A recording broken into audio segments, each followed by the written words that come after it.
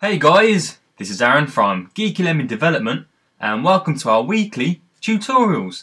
And this week I'll be showing you how to use UI views in your projects and apps. So already I have my project set up. It's a simple single view application for the iPhone and I've simply named it UI views for the purpose of this tutorial.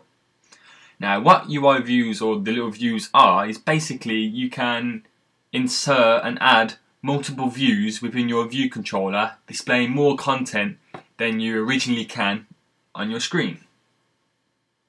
So if I just go into the viewcontroller.xib and I'll just get a view it for you now. So we just scroll down to find a view. So here we go. So all it is exactly the same as our view controller, but we place it within our view. So let's just say you have a, a, game, for instance, and you need to display extra content on a second view within the view for whether something happens or you want to control settings or so on, so on.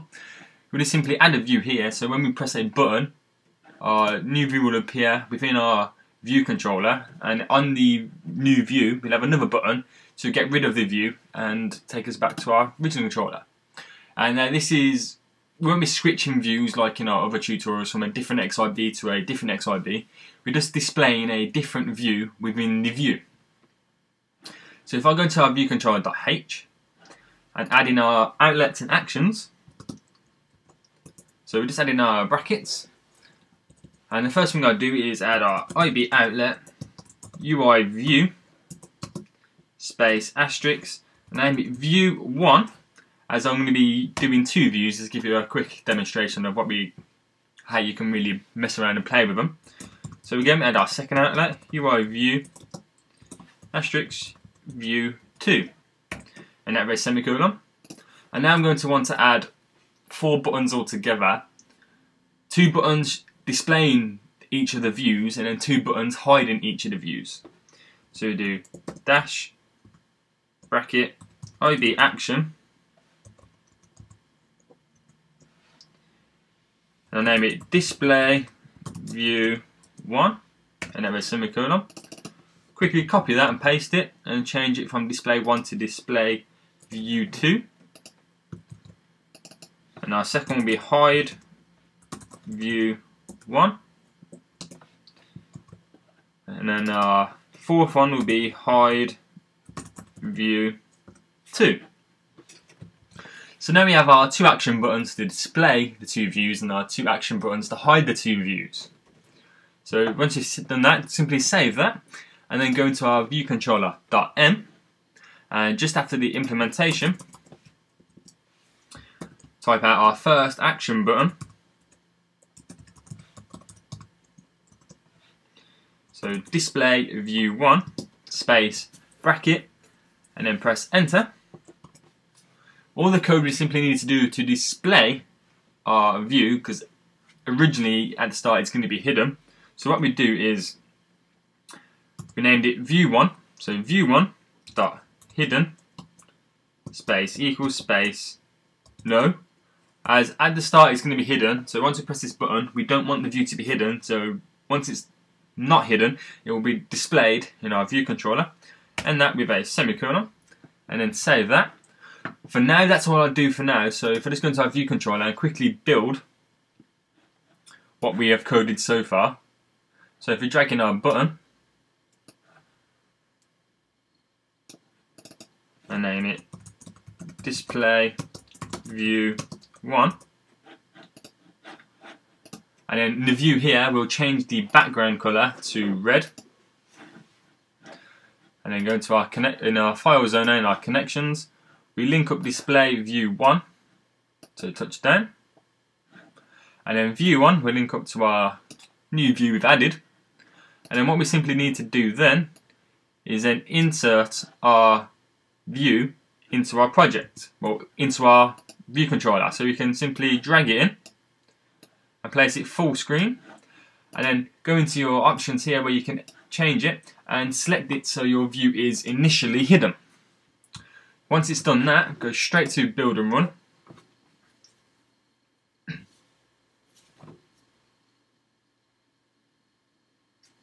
We'll have a few warnings to begin with as we haven't added the rest of the code in all the buttons, so just ignore that little warning at the top for the moment.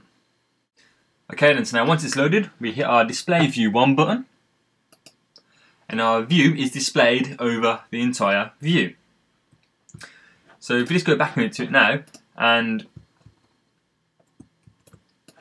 bring out our second, well our view again, and just simply add a button to it.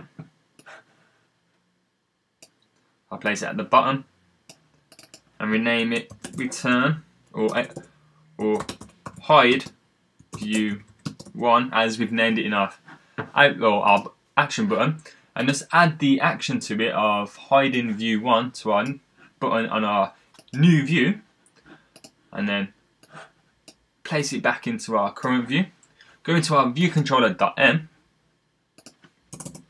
and I will add the code in to hide our view. So do IB action, hide view one, space, bracket, space, and then it's exactly the same line of coding from our first one, but this time instead of no, we want it to be hidden, so we do yes. Once you've done that, go straight to build and run again, and we'll show you what we've created so far. So once it's loaded, we hit our display view 1 button. Our new view appears over our current view, and we have our hide view 1 button to hide it. So we can display it and hide it. So when we display it, we can have extra content within this view, and when we've finished using it, we can hit our button to hide it, and it takes us back to our main view. So this revolves around about switching views or creating new XIBs, stuff like that. So now if I add the second view in, so if I just copy the code, changing display view 1 to display view 2, and the view is hiding view 2. And again with this view here, and hide view 2. So if you want to pause that, catch up on any of that coding, so simply we've got our all the code in there to hide both the views and display both the views. So once we've done that, we can save it, go into our view controller.xib. Uh, again, I'll bring out the first view. So just get out of the way so we can see what I'm doing again. So the first thing I'm going to do is add in a second button and name it display view 2 and then we're grabbing our second view here. And I'll make sure this background on this is a different colour so this time it'll be green. But this time I'm going to resize it so it's not as big as the other view and it doesn't fill the entire screen. So just show you something that you could also do with the views.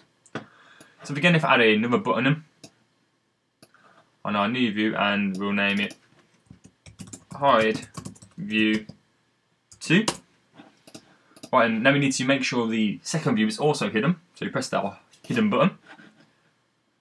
Go into our connections and our files owner. We link up hide view 2 to our button. Display view 2 to our button. Making sure it's all touched down. Just something really simple. And then link up view 2 to our view. So now if we add them into our projects here, this time I'll place the second view at the bottom so once it's displayed, it will only cover the bottom half of our original view. So then if I bring in our second view and place it over the top, so there we go.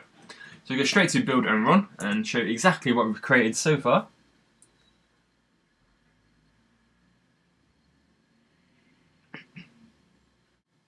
So now once it's loaded, we can display view 1 and then hide it. Display view 2 and now this view only covers the bottom half of our main view. So this doesn't interrupt or interfere with the buttons at the top. We're still able to use these buttons even though the view is showing at the bottom. So we can still display view 1 and hide it and this hide view 2. So you can use these views as little pop-ins to do little certain stuff or if you've got too many buttons or you want to keep buttons hidden and unlock stuff for you out your app, you can use this so you can display view 2, have a few buttons or some information here, and then hide it. Create your own little alerts, your custom alerts and stuff like that. So the possibilities are really endless with these individual views.